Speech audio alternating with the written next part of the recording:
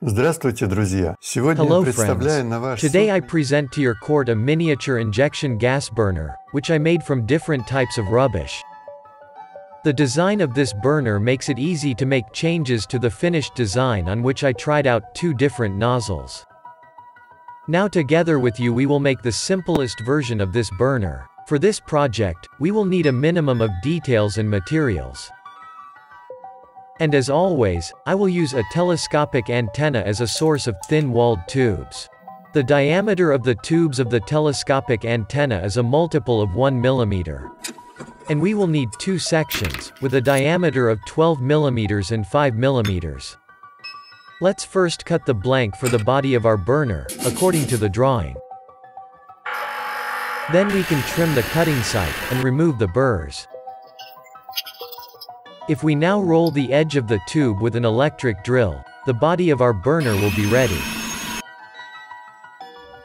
The outer diameter of this washer we need to adjust to the diameter of the case so that the washer enters the case with some tension. Do this gradually, if you have only one suitable diameter washer.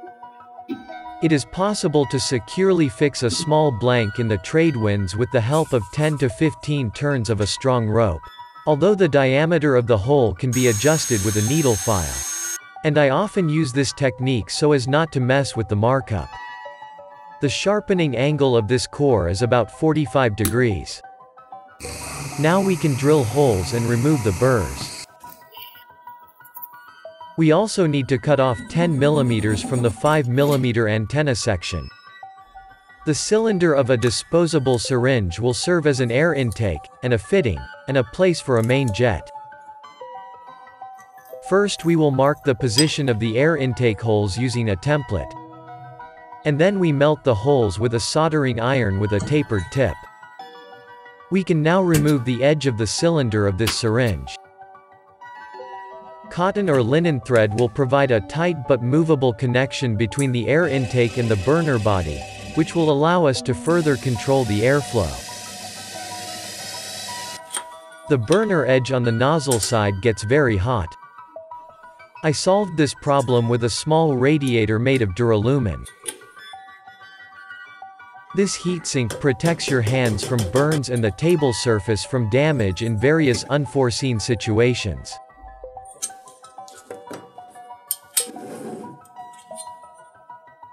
Many years ago, when transistors were made in round metal packages, radio amateurs used to bend such heat sinks out of tin cans.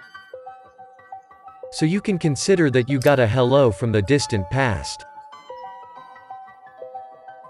Press the tube into the washer and our nozzle is ready.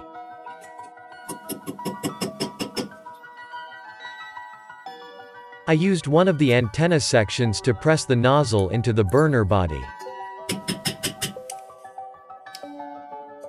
I suggest you use a needle from an insulin syringe as the nozzle. The diameter of the hole in this type of needle is only 15 hundredths of a millimeter.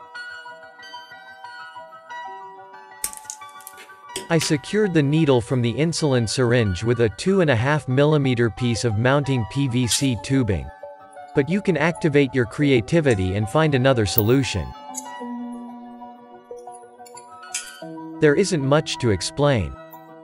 We simply dock all three previously assembled assemblies together and get a miniature gas burner.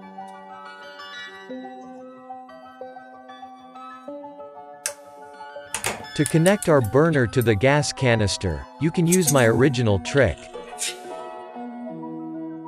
I first put the tube from the medical drip on the cone from the needle, and then fasten the tube with thread soaked in glue or varnish.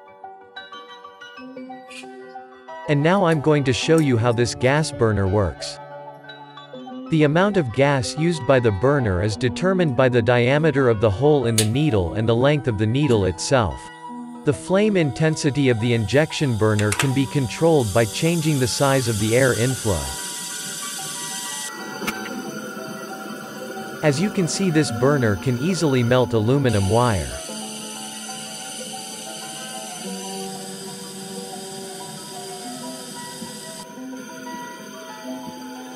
The burner can also cope copper wire.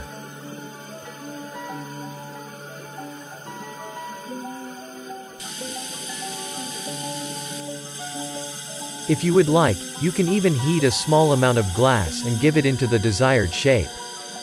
But for this you need to have a knack, which I, unfortunately, did not have.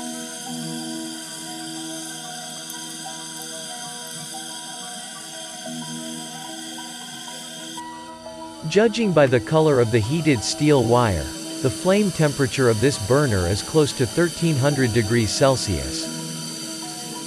Support the channel by subscribing if you want to keep this channel afloat. Have a lot of creative success to you friends.